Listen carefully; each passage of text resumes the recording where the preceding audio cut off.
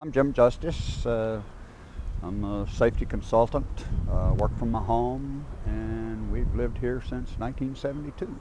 I had contacted them. It's a good website, and um, that's where I went to first to, to get in touch with him.